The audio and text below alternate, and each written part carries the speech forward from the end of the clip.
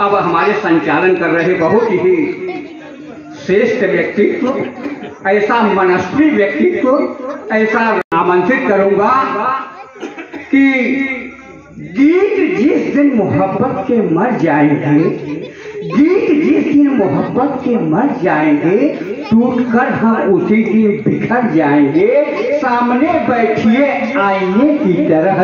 आपको देखकर हम समझ जाएँगे। आपको देखकर हम समझ जाएँगे। एक क्या समझ और कि सोई आग दहक जाएगी। मन की नाव बहुत जाएगी।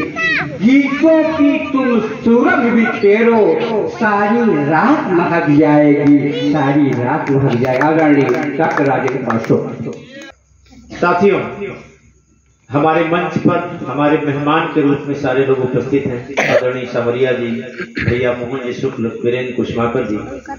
और एक बहुत अच्छी कवियत्री, जिनका मन भी बड़ा साफ़ है, जिनका लेखन भी बड़ा साफ़ सुथरा है। एक अच्छे संस्कार से आई हुई।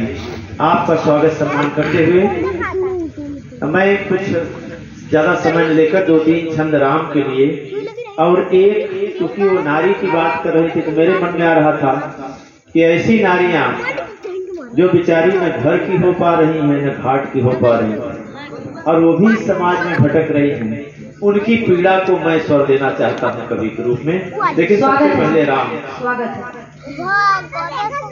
राम कौन है? कि राम के नाम में शक्ति भरी अनुरक्त अनुभक्ति दसों दिश व्यापी। राम कौन है? राम का नाम लेने में कितना गुण पत्थर तैराए पानी पर।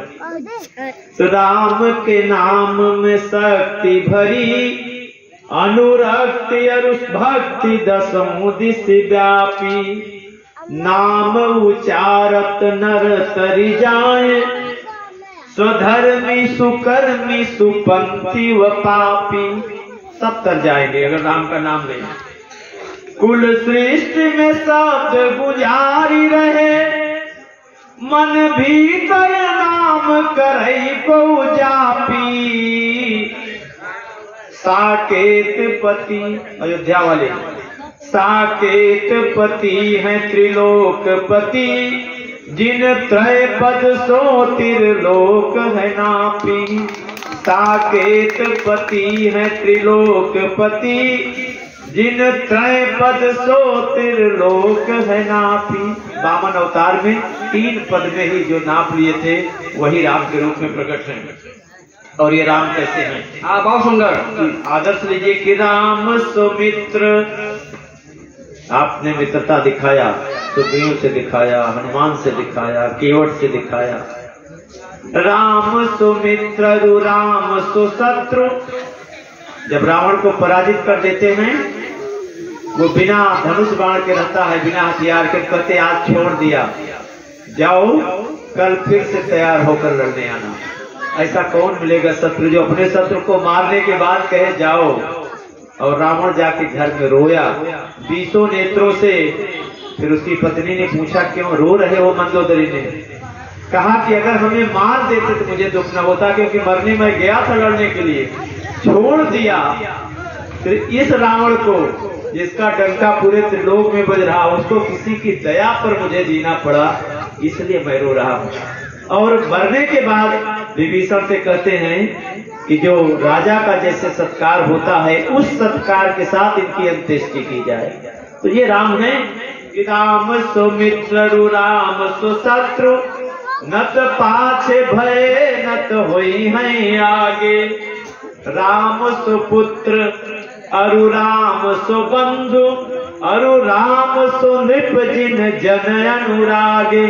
रामराज की कल्पना होती है कि बानर भालू निषाद व भीलन संतन संग बांधे प्रेम के धागे।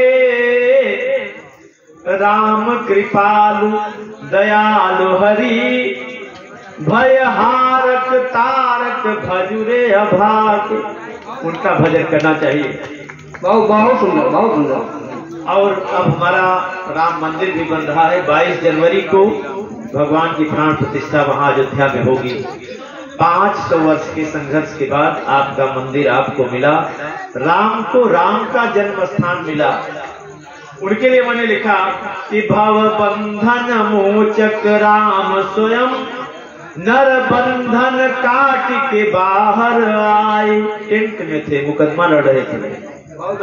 भव बंधन, जो सारी दुनिया का कष्ट दूर कर सकते हैं, बंधन काट सकते हैं, उनको हमने बंधन में रखा था भव बंधन मोचक राम स्वयं नर बंधन काट के बाहर आए।